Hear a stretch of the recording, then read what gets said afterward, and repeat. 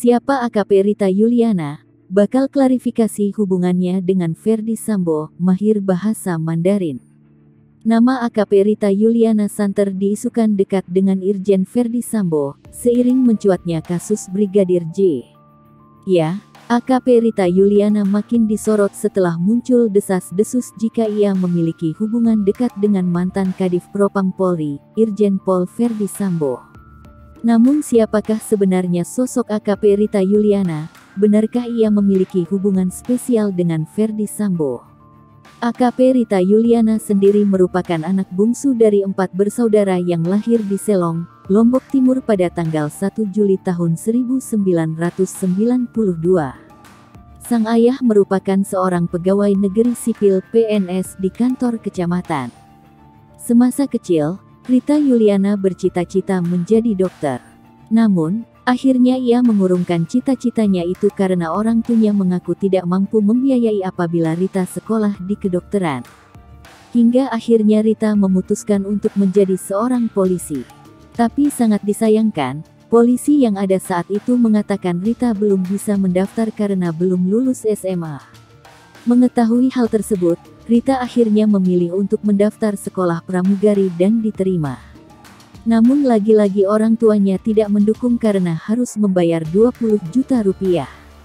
Dan membuatnya kembali mendaftar Akpol dan diterima pada 2010. Kala itu, Rita Yuliana mendaftar seleksi Akpol bersamaan dengan seleksi IPDN sesuai permintaan orang tuanya. Hingga akhirnya ia mampu lulus dalam seleksi Akpol dan menempuh pendidikan kepolisian dan S1 Stik PTIK, Rita ditugaskan di Polda DIY.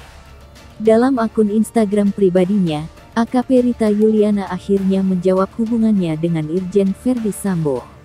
Dalam foto yang diunggah pada Sabtu tanggal 6 Agustus tahun 2022, Rita menanggapi komentar warganet yang menyindir dirinya sebagai simpanan jenderal.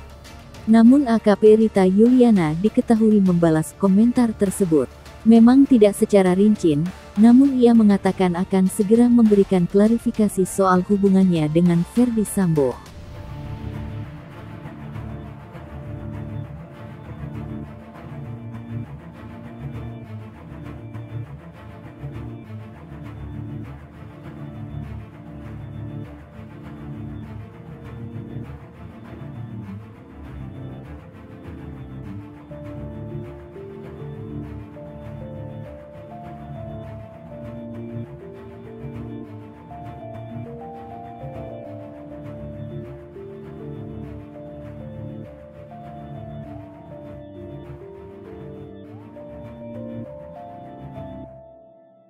Hai pemirsa Sri Popo TV, jangan lupa komen, like, dan subscribe, serta tonton terus berita-berita terupdate lainnya ya.